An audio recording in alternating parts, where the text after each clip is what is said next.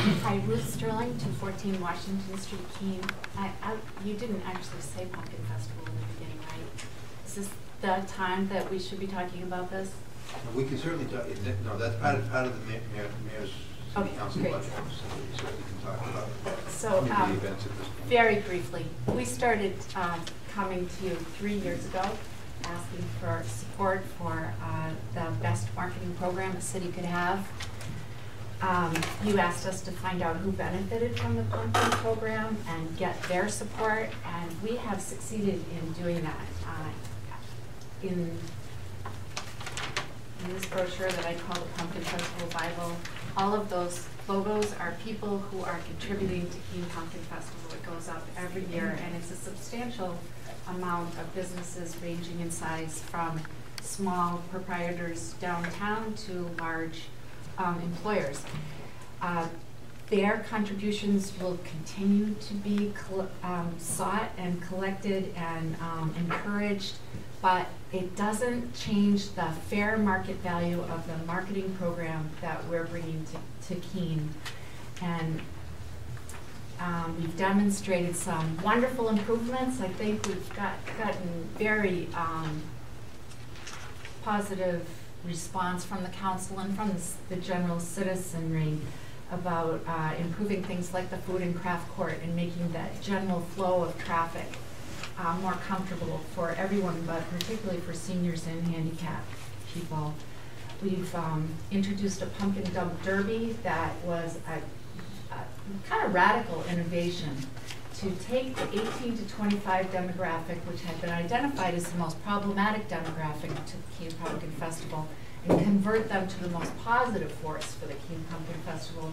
A, a group of teams of people who um, clean up 30,000 pumpkins in approximately 15 minutes. No one would have believed that could have been done before. I, I mean, truthfully, I wouldn't have believed it could be 15 minutes. I was hoping for an hour. So with innovation and creativity and by identifying clearly what the real problems are and going after those real problems and getting everyone's support for going after the real problems, Pumpkin Festival is becoming something we can be really proud of. Not just a world record setting event that we all own a world record for. I mean, that's, that's wonderful and it gets us a lot of positive attention, but uh, there's just so much more to it.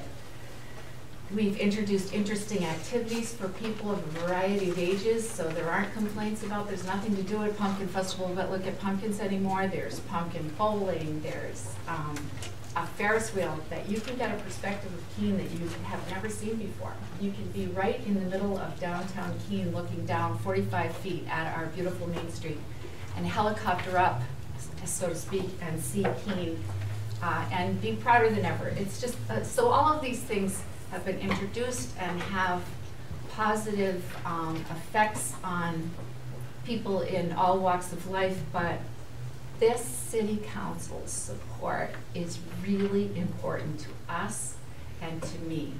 The votes, when, when you vote in support of Keene Pumpkin Festival, I take it very personally. And when you vote against Keene Pumpkin Festival, I take it really, really hard. So eleven to three was, excuse me, eleven to three was the vote for the license a month or so ago, and that was a hefty, supportive, um, vote, but the people of this community voted thirty thousand five hundred and eighty-one votes in favor of Keene Pumpkin Festival.